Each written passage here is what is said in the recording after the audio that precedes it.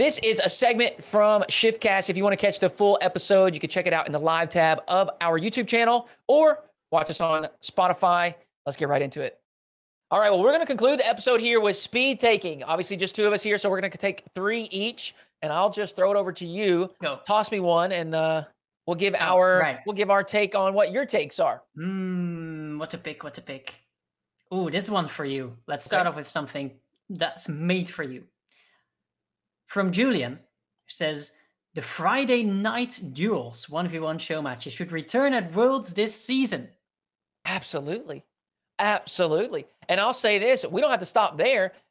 Yeah. any type of content that's not specifically the 3v3 matches at worlds yes let's do it i mean you think about um, like nba they've got like their all-star weekend they've got their little exhibition match they've got a dunk contest a three-point contest and we don't have to mimic those exact things but just ways to entertain and celebrate the awesome moment that is the world championship and and, and the more content in my opinion the better I I- look. I know a lot of people didn't like the freestyle thing, and that's fair. But I commend them for trying something. Yes. we learned, right? We learned. Hey, that's not really a good thing to. Um, that's not really a good scenario to put uh, the freestylers in, right? It's not their fault, but the the thing that they do is repetition. They try it over and over and over until they get it right. So it doesn't. It's not a good fit to go onto a live environment. It's tough. But there are other things that they could do. Um, and and the one v one show matches I think were a phenomenal choice. That was such a hit. Obviously, I I love the one v one stuff, but I think that is something that a lot of people love.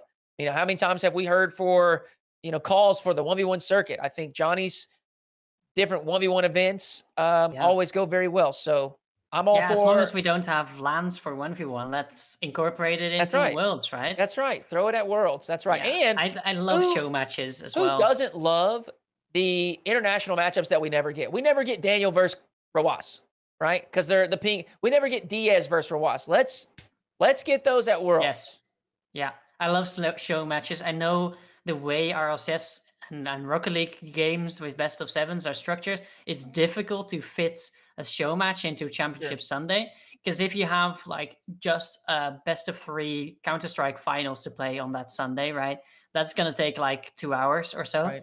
Um, then you have time for a show match as well with just wacky rules or weird teams, or you can bring back a lineup of retired players. Yes. Yes. Things like that is Yeah. lovely to watch. Everyone's coaches or something. engaged. Yeah, just get get yeah, get the coaches to, to play each other to, to decide who's a better coach. Just just one for one. we'll flip the roles. Flip the roles. Whatever. it- yeah, yeah, yeah. Yeah. And and then of course the players need to coach. That's right. Yeah, I mean that's a- that's a given. Things like that is so Yeah, entertaining, and agreed. the LAN environment really leans itself for it. Mhm. Okay, thr hit me. All right. So Julian, thank you for that one. Um. All right, we'll just throw you this one from Mop. He says anything less than a top four at London would be a disappointment for Team Falcons. Um, yeah, yeah, I think that's that's right. Yeah. Because they have shown they can do it internationally, right? Mhm. If you just saw the region, if you just have MENA going up against the other region, making that playoff brackets is is nothing to be ashamed of. But because Falcons specifically Yeah. have such prowess on LAN and are so good at beating other regions with their style, top four is what they should aim for and nothing Right. less. That's I think I- I- I think I'm with you. I mean, especially with how strong they showed they were in that quarterfinal match with Karmine Corp. You know, a lot of people even still are rating them in that top four area. So I, I, I'm with you. I think that makes sense. Mhm. Talking about coaches, Mm. here's a take from Pyro. Okay. Chrome has not helped Gen G's ceiling and has made them more inconsistent since he's signed on to coach. See the problem? Um, I mean, you yeah, you could say that. That's fine. I think it, it- we're looking at a very very small sample size. You know, the immediate result. It, it to me is not. I, I mean, uh, first we don't really know how much a, a, a coach will change things. Um, Mhm. so I don't know. Because we don't know exactly what the coaches do. yeah, and But it's so I'm individually also as well. I'm not too surprised by introducing something new to a team environment and then getting a little bit of a different result. You know, I mean, they, I mean, the first thing they did was win. They won the event. So, you know, the immediate reaction is like, well, Chrome's the greatest. And then they fall out top eight. And so now we say, well, Chrome's the worst, right? So, I mean, yeah, we could say that. Yeah, they've been a little bit more inconsistent, but I'm not too surprised by that. You introduce something new to the team. We just talked about it with Diaz and complexity. We talked about it with Dig and Stizzy, and then they bench Evo. I mean, when you introduce something new to it, it's going to break up that rhythm, break up that routine, change up the dynamic a little bit socially, and they got, you know, they got to get used to it. So I'm not too worried about Gen G. I think their floor is is plenty high.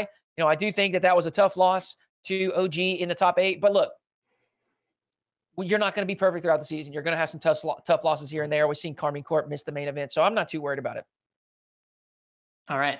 From Langley, Arsenal and Retals will team again before they retire.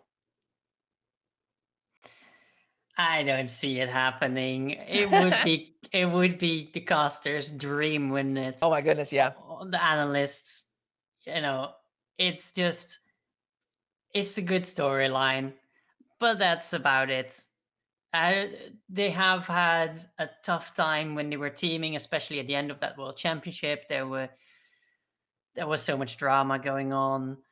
It's also not really two players who I see fit on a team at the moment. Right. They're they might not just be cut out for that. Also, they're two players who, yes, came up together and have a lot of history, but now that they are the veterans and not the rookies anymore, they both are willing to take new talent under their wings Mhm. and give them the, uh, their experience and try to reach the top with younger, newer talent with a lot of potential. And I don't think they see that in each other. So, nah, that's uh, not happening in my book. Maybe uh maybe a content run once they fully wind down, but yeah, but that's uh, different. But that's who different, knows? that's Who right. knows? Let's bring back the peeps. Well, okay. So, from Vesper, KC's elimination in open qualifiers is the most shocking result of the open era. Testing your your history knowledge. It is. Yeah, It's, hard to mine too. quantify this, but I'm going to Hmm. say no. Although it is a huge swing and a miss. The thing that stands out the most to me Yeah. is BDS losing to Vitality in RLCS X. Oh, The and I know that Vitality was good as well. yeah. but BDS was just so incredibly dominant. They were so, um, you know, accepted by the community at large, casters, you know, very knowledgeable people, very casual fans, players alike. I mean, everyone. It was just BDS season. It, it was Yeah. it was theirs to to to win, to take, to celebrate. They dominated that region. I mean, I remember the debates.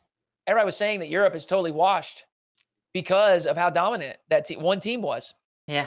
Um, and so I think that for for me, and like I said, I know that Vitality was still a good squad, but I think that was just absolutely befuddling. I, I, could that. not yeah. believe it. Yeah. That was just not happening. And then it did. No. Yeah. Um, now this this is obviously like that. That's different in the sense that that's a championship. Both of those teams probably should have been there. Um, and then obviously that is an upset. And this is, I mean, this is rough from KC. This is a this is a tough loss here. But yeah, anyways, that was a shocker for me. So I that's think, gonna be my yeah. choice. I think it's more just how the format is structured right now Sure. that it makes it bigger Yes. with KC. Right. But the Like that- that- actual the actual loss to Top Cougars and to Suh If they isn't go- the if they most start- insane thing ever. if they start a Swiss stage 0 and 2 to those two, and then they win their next Yeah. three and they're in the main event, we forget Yeah. about it next week. Yeah. Yeah, we never think about it again. So yeah. all right. Um, let's see. Let me throw you this one from Icarus.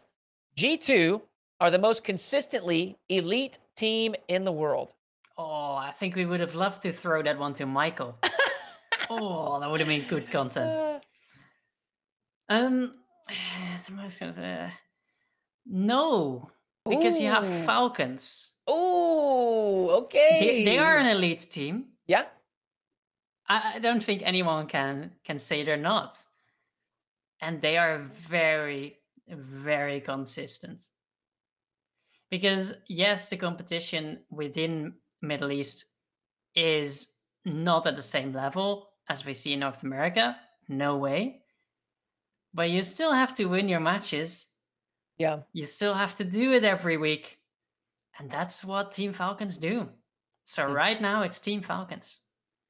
Now, I don't want to go so far as to say I'm going to rebuttal, but I do want to throw this out there. G2 has not finished lower than second in RLCS event all season. I mean, there there's a reason why this is a take. They, they have absolutely a reason to be in that discussion. I'm just gonna be a contrarian and throw out a region a little bit closer to home. I hear you. Okay. We'll see what the comments say about that. Yin's a hater. Tweet at me. It's it's uh, right there. Tweet at him. Let him know. Garbage take. I might even reply. Who knows? Ooh. All right. So is that all? That's all of our that's all of our takes. Thank you for watching this segment of Shiftcast. If you do want to catch the full episode, you can catch it in the live tab of our YouTube channel or full episode is on Spotify as well. Thank you for watching and we'll catch you next time.